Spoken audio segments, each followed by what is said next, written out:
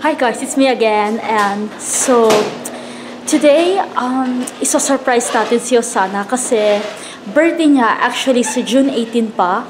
But uh, June 15 ngayon. And so ito yung perfect time kasi para mag uh, ng uh, birthday niya dahil ang dami niyang tests in the next few weeks. And tingnan niyo yung decoration so far. Ang ganda oh Oh, yes. Ayan, yung food wala pa.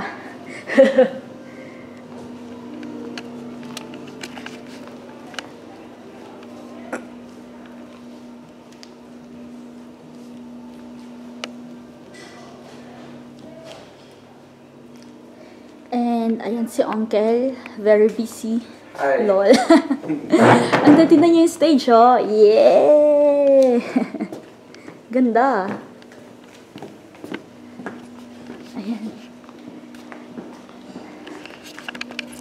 Okay guys, so I'm gonna update you later kung ano mangyayari. Until then, see ya! Two hours later.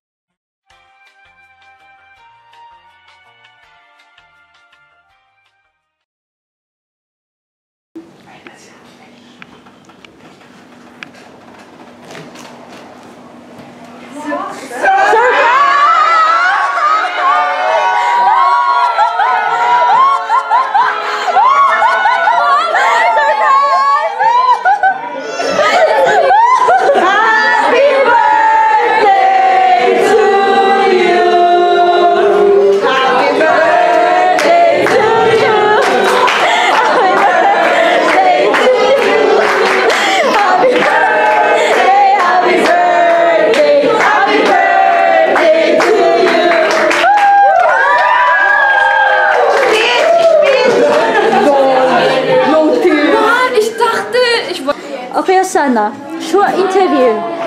How do you feel? How I feel? Um, I mean, at the moment that you saw us right in front of you, like, and saying, surprise! well, to be honest, I was so shocked because I was so like concentrated. I have to after this dinner. I have to go home and then I have to prepare myself and to learn for my next exam, which is on Thursday. And like, I entered the room and I was like.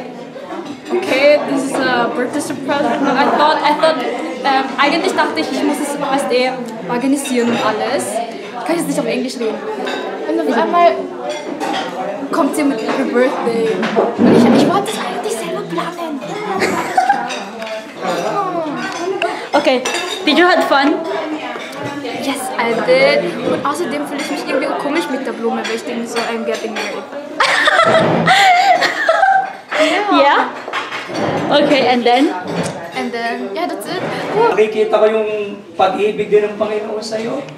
I saw transformation na ginawa ng Panginoon sa buhay niya. Totoo ba anak, tumutulong ka maghugas ng pinggan kay mama? Ah, magaling siya maghugas ng pinggan. Magaling siya mag-vacuum. Di ba? Bakit? Kasi natutuwa. Yan yung ginawa ng Panginoon sa buhay niya. Nagkaroon ng transformation. Peace spiritually, emotionally, at higit sa lahat sa karakter ni Jose. Mahal kita anak, mahal ka ng mama mo. At salamat po sa buhay ng bawat isa po na nandito. Kahit sa maikling panahon, nagkasama-sama po tayo. No? At hindi po makakalimutan ni Jose na to sa buhay niya. Also,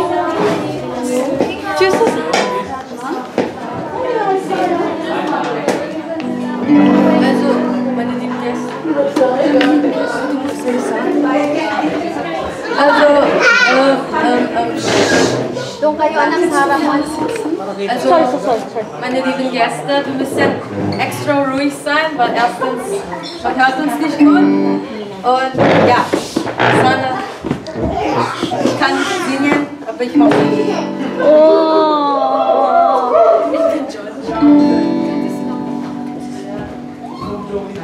Gamit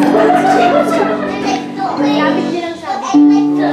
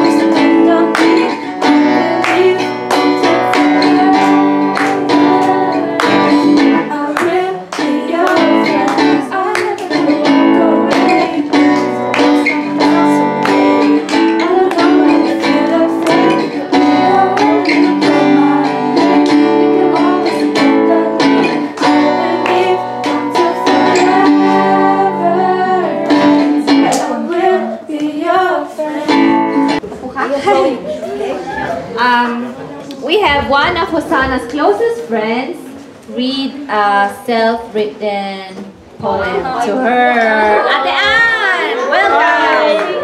Hi, hi. Boss! Okay. Um, Sarap ka. Sarap ka. Yes, ang salamat niya. Neben Hosanna.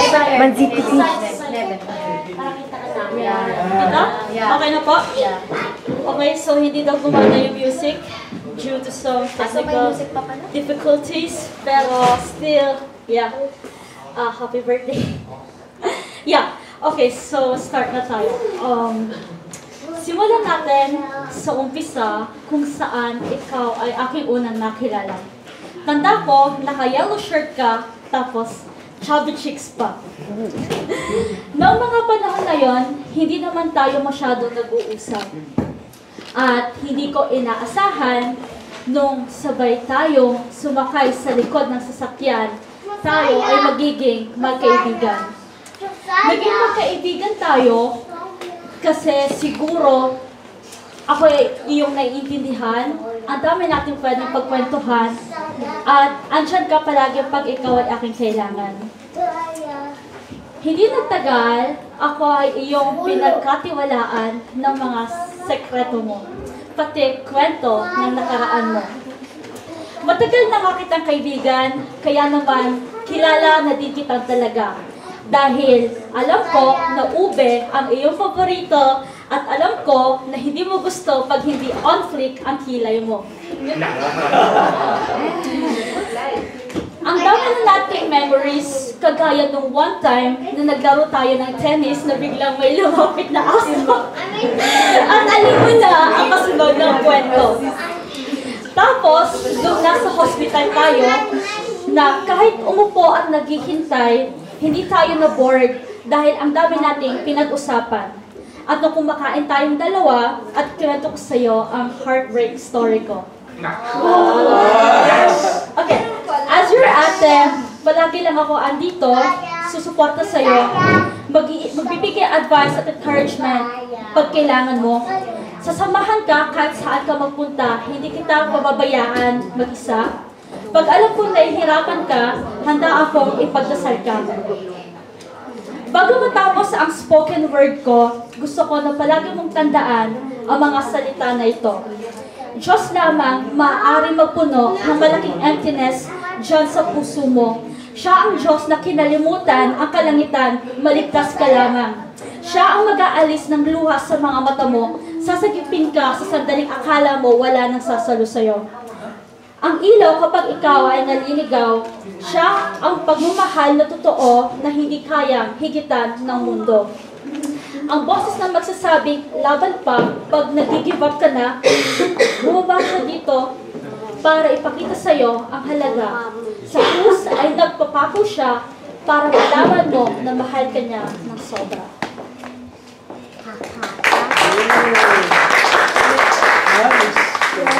Sangay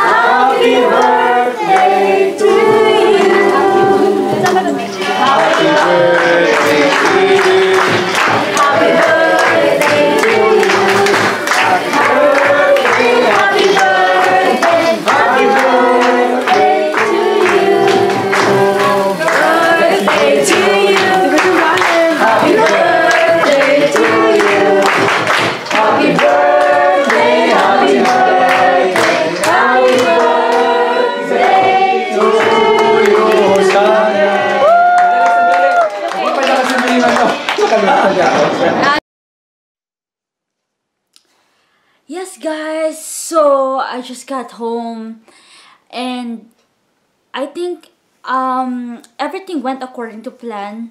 Doon sa bir- 18th birthday party ni Hosanna. So sa dibo niya. At alam ko na lahat nag-enjoy doon sa party niya at nabusog. Kasi ang sarap lang talaga ng pagkain. And yeah, as you can see, talagang medyo pagod na ako dahil It's almost 11.30 ng ah gabi. Yeah, guys. So, thank you for tuning in. And if you're new to my channel, um, subscribe and click the bell button below so that you're updated every time I upload a video. And yeah, until then, see you on my next vlog. Bye guys, kasi kailangan ko na rin matulog dahil maaga din naman akong gigising bukas. Yeah, okay. Bye. Good night. Good night guys. Good night.